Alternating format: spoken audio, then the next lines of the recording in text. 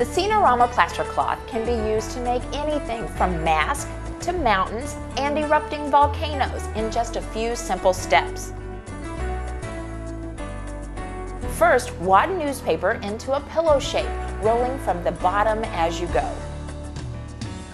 Then stack your newspaper wads onto a piece of cardboard into the shape that you want, holding them in place with some masking tape.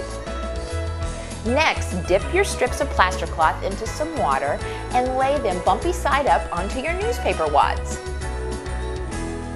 Now while you have the plaster cloth in place, smooth out the plaster on the cloth, filling in all the holes.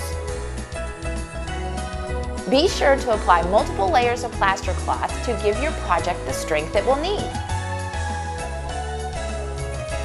Use your imagination and have fun.